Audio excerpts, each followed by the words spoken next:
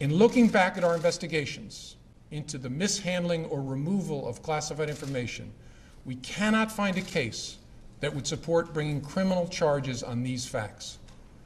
All the cases prosecuted involved some combination of clearly intentional and willful mishandling of classified information or vast quantities of information exposed in such a way as to support an inference of intentional misconduct or indications of disloyalty to the United States or efforts to obstruct justice.